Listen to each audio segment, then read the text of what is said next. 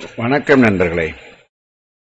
நம்ம அடுத்து பார்க்க போறது தமிழக அரசு புதிதாக அறிவித்துள்ள புதிய அகவலைப்படி முப்பத்தோரு சதவீதம் பெறுவது எப்படி? ஐஎஃப்ஹெச்ஆர்எம்ஸில் ஃபைனான்ஸில் நீங்கள் வந்து பேரோலுக்கு வந்துக்கோங்க பேரோலில் வந்து பார்த்தீங்கன்னா ப்ராசஸ் அந்த மெனுவில் பல்க் ப்ராசஸ் அப்படின்னு ஒரு மெனு இருக்கும். அதில் போங்க. DA percentage update office wise அப்படின்னு சொல்லி ஒரு மெனு இருக்கும். அதில் ஆக்ஷன் கொடுங்க. அதில் உங்களோட டிடிஓ கோடு வந்து டிஃபால்ட்டாக வந்துடும் உங்களுடைய ஆஃபீஸ் நேம் வந்து நீங்கள் செலக்ட் பண்ணிக்கோங்க.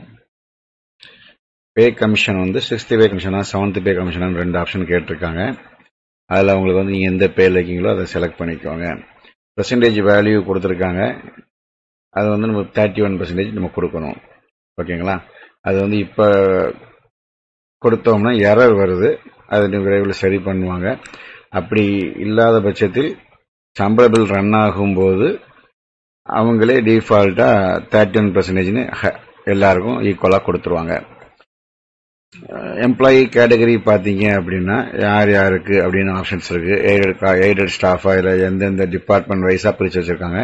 தமிழ்நாடு கவர்மெண்ட் சர்வெண்ட் கொடுக்கலாம். நீங்கள் என்ன கேட்டகரியில் வாரீங்களோ அந்த கேட்டகரியை செலக்ட் பண்ணி கொடுத்துருங்க. எய்டட் ஸ்டாஃப்னா எய்டட் ஸ்டாஃப் எஃபெக்டிவ் டேட் வந்து கண்டிப்பாக நீங்கள் கொடுக்க வேண்டியது ஜனவரி மாதம் ஒன்றாம் தேதி. பழைய டேட் எதுவும் கொடுக்கக்கூடாது. கொடுத்துட்டு நீங்கள் கண்டினியூ கொடுத்தீங்க அப்படின்னா இது ப்ராசஸ் நடந்து வந்துடும் இதில் பார்த்தீங்க அப்படின்னா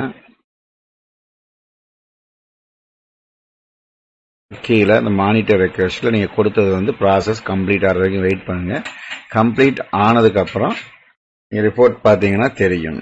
அதுக்கப்புறம் நீங்கள் ப்ராசஸில் வந்து செக் பண்ணி பார்த்தீங்கன்னா எம்ப்ளாயிக்கு அப்டேட் ஆகியிருக்கும்.